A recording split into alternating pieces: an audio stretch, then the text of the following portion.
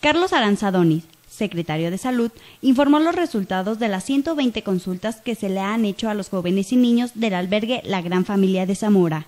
De esas 120 consultas, los diagnósticos más predominantes son gastritis, gastroenteritis aguda, infecciosa, dermatitis de, diversas índoles.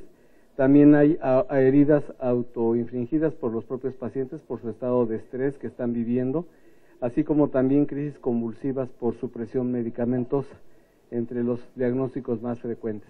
Aunque el hábito de lesionarse que presentan algunos de los niños y jóvenes ya revisados se tratará por medio de terapias psicológicas, mencionó la directora estatal del DIF, Ana Compeán. Este eh, patrón de heridas autoinfligidas es un patrón recurrente que viene sucediendo. Tristemente los menores tienen cicatrices ya de años en ambos dos brazos, pero que van desde la muñeca hasta el hombro. Entonces es algo con lo que tenemos que trabajar. hemos trabajado mucho en la contención psicológica, en el trabajo emocional de estos niños. Es una parte muy importante y de las más importantes que nos de la cual nos estamos ocupando. Para seguir brindando el mejor servicio posible, Aranza Donis informó que los puestos de atención serán de manera permanente. Para Cuasar TV, Andrea Fernández.